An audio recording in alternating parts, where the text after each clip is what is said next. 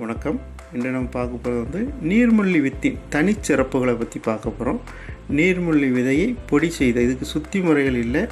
நீர்மல்லி வித்தை பொடி செய்து ஒரு ஸ்பூன் பொடியை ஒரு ஸ்பூன் சர்க்கரை சேர்த்து மாலை ஒரு வேளை தினமும் சாப்பிட்டு வர அதாவது பாலில் கலந்து சாப்பிட சொல்லியிருக்காங்க. அப்படி இல்லைன்னா நெய்யில் சாப்பிட சொல்லியிருக்காங்க. பாலில் அல்லது நெய்யில் சாப்பிட சொல்லியிருக்காங்க. நீங்கள் பால்லையே சாப்பிட்டு வாங்க. அளவு வந்து ஒரு ஸ்பூனு அதுக்கு ஒரு ஸ்பூனு சீனி சேர்த்துருக்காங்க. ஒரு வேளை தான் சாப்பிட சொல்லியிருக்காங்க. இதை வந்து என்ன சொல்லியிருக்காங்க? நீர்மல்லி விதை நன்மையில் என்று பார்த்தால் கணக்கில் அடங்கா நன்மை உண்டு என்று சித்தர்கள் கூறியுள்ளனர். அதாவது இது பாலில் போட்டு நல்லா கொதிக்க வச்சிடணும். அது வந்து ஒரு மாதிரி பேஸ்ட்டு மாதிரியே ஆயிரும். புழு புழுன்னு ஆயிரும். விந்து மாதிரியாக இருக்கும். நொங்கு மாதிரியே மாறிடும் அந்த பாலை என்ன செய்யணும்னா அந்த நொங்கு வந்து வடிகட்டி அந்த பால் அந்த பாலை மட்டும்தான் நம்ம சாப்பிடணும் அந்த ஜூஸை தான் சாப்பிடணும். அந்த நொங்கை நம்ம சாப்பிடணுங்க அவசியம் இல்லை.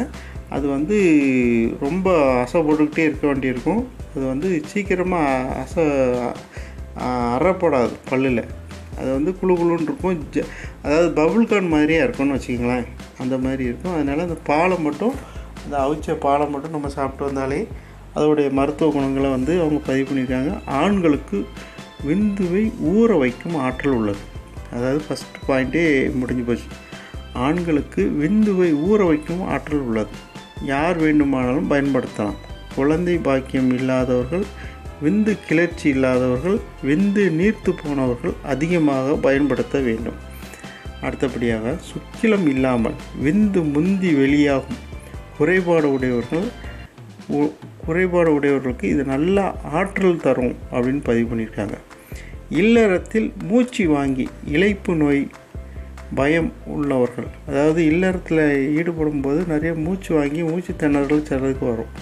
அப்படி உள்ளவங்களும் இதை பயன்படுத்தணும்னா அந்த மூச்சு வாங்குறது சரியாயிரும் அப்படிங்காங்க இந்த நீர்மல்லி விதையை தொடர்ந்து சாப்பிட்டு வர சப்த தாதுகளும் விருத்தியாகி மேலும் உடல் நல்லா நல்ல ஆரோக்கியம் பெறும் அப்படிங்காங்க சப்த தாதுகள்னால் உடம்புல உள்ள எல்லா வகையான உள் உறுப்புகள் அந்த நரம்பு மண்டலம் எலும்பு மண்டலம் சதை மண்டலம் இந்த தாதுக்கள்லாம் வலுப்பெறும் அப்படிங்காங்க பெண்களுக்கு மேக நோயை நீக்கக்கூடிய ஆற்றல் இருக்குது அப்படிங்காங்க இல் இல்லறத்தில் தடையாக இருக்கும் உடல் தேவையற்ற நீர்களை நீர்கள் வீக்கம் மேக நீர் இவற்றை நீக்கி சுத்த உடல் தரும்னு சொல்லியிருக்காங்க. அதாவது உடம்புல வந்து நீர் கோர்வைன்னு சொல்லக்கூடிய கால் தொங்க போட்டால் கால் வீங்கிறது அப்புறம் வந்து மேக நீர் உடம்புல இருக்கிறது வீக்கமாக இருக்கிறது இந்த மாதிரி கம்ப்ளைண்ட் எல்லாம் இது சரி பண்ணோம் தொடர்ந்து சாப்பிட்டோம் அப்படின்னா பதிவு பண்ணியிருக்காங்க. மேலும் எந்த நோயையும்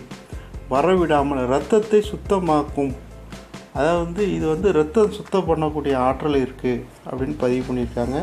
இல்லறத்தில் தடையாக இருக்கும். எல்லா தடைகளையும் உடை உடை உடைக்கும் ஆற்றல் உள்ளதாக சொல்லியிருக்காங்க.